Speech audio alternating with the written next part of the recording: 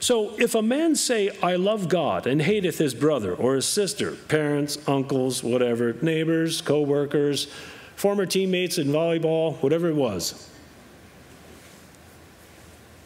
If a man say, I love God, and hateth his brother, he's a liar. Because if you've really met God, he should be filling you with his love. But you don't know what those people did to me. You're right, but God does. And he'll help you love them if you'll let him. Doesn't mean you necessarily have tea and biscuits with him, but at least you learn how to love him.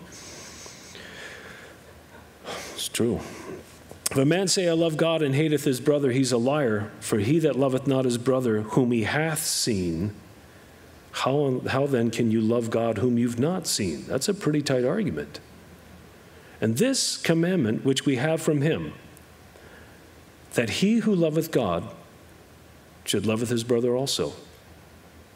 It's that simple. We have a world that is getting increasingly divided. Am I the only one seeing this? Increasingly polarized, increasingly sort of, um, should we say, you know, balkanized, for lack of a better way to put it. This is our camp, us four no more, hit the highway. Definitely a good time for God's people to walk in his love because that's something most of them sadly are really missing. Speaks louder than you know, which is why Satan tries to attack it so much in your walk with God.